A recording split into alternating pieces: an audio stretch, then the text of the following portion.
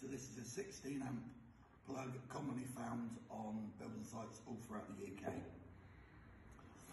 We start off by separating our cores and very, very dexterous this bit. Make sure we locate the cables in the right part of the plug. So you can see CPC or earth cable, or something you might call it, goes in there. We tighten the screw right up so we have a really good safe connection. And then we have our live and neutral cables left. Stick that one in there, a little bit tricky like I said, just like that. Tighten it up nice and tight to ensure it doesn't fall out. Same with the neutral.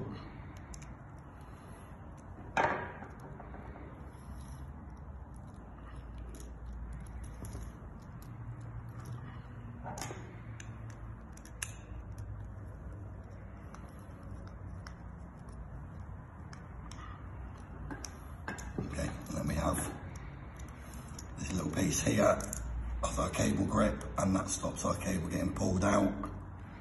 So these are holding it as opposed to just what's holding the copper in.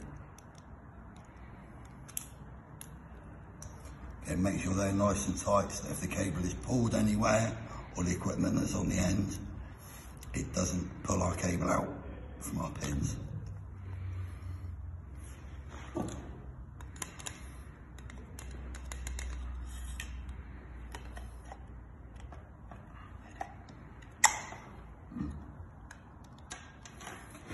Again, screwed in the top, stop them being pulled out.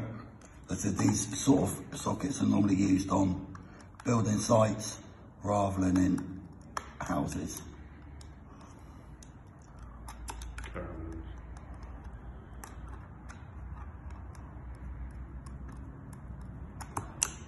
There we go, super nice and tight. A little bit of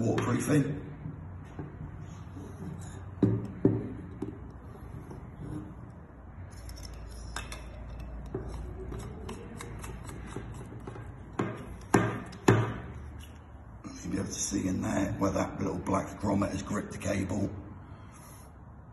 To give it a little bit extra protection. And to finish the job off, this particular style.